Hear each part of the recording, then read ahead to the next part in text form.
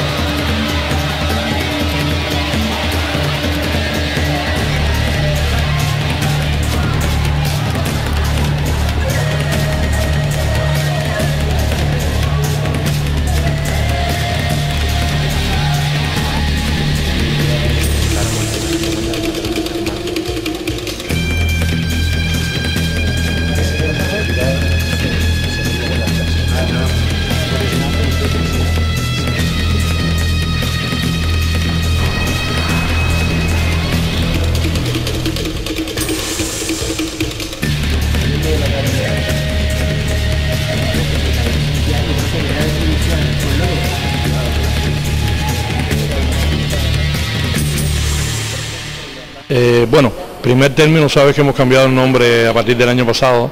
Esto se llama Con otros ojos ahora y es una colaboración entre el Cabildo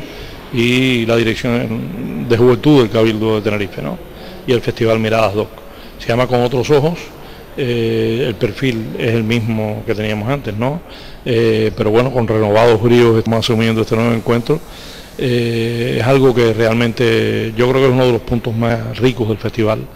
porque se forma público, se enseña a los jóvenes que existe otro tipo de cine,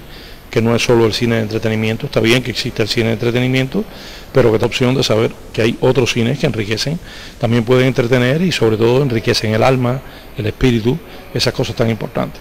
Eh, es un éxito, eh, la sala está llena de jóvenes, hay más de 400 jóvenes arriba y para los directores que vienen es un sueño poder tener esa posibilidad y así será toda la semana y terminaremos teniendo más de 1.500 jóvenes viendo películas y formando públicos nuevos para este cine diferente que proyectamos en Guía de Isola.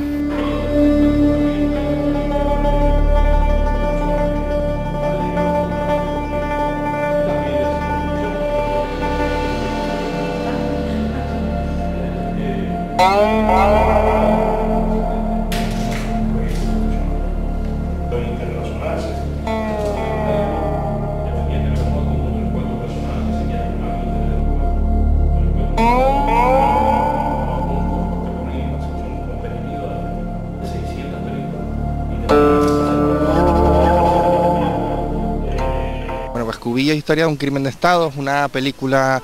que trata sobre las cloacas del Estado español, de servicios secretos españoles eh, unidos con los servicios de otros países como Alemania o Estados Unidos, intentaron asesinar a Antonio Cubillo en Argel, que era un líder independentista canario que luchaba por la independencia, y es los tiras y aflojas de los gobiernos, y luego hay digamos una subtrama que es la que llena el documental, que es el intento de asesinato en sí mismo. Entonces los propios personajes implicados en el intento de asesinato en el documental, como la persona que clavó el puñal a Cubillo o el espía infiltrado en el país que organizó todo, salen ministros, eh, Julio Madariaga, fundador de la ETA, digamos que hay un escalafón desde asesinos, terroristas y espías a ministros, grandes periodistas y grandes historiadores o famosos historiadores que, bueno, digamos entre todos ellos te cuentan una historia muy entretenida, apasionante y, y que hemos in- intentado que, que la cosa quede muy montado eh, un poco, digamos, con algún tinte americano para que la película, que es larguita, sea entretenida. Eh, creo que el Miradas Doc es una de las pocas apuestas que hay en, Canarias para propulsar eh, a los realizadores canarios, bueno, no tanto los realizadores, sino el equipo que llevan los realizadores detrás, que es la industria, la cultura audiovisual que, que hay aquí en la isla. Y es una pena que no haya más festivales así y es una pena que no cuente con ello por parte del gobierno para que la infraestructura cada año sea mayor, no menor.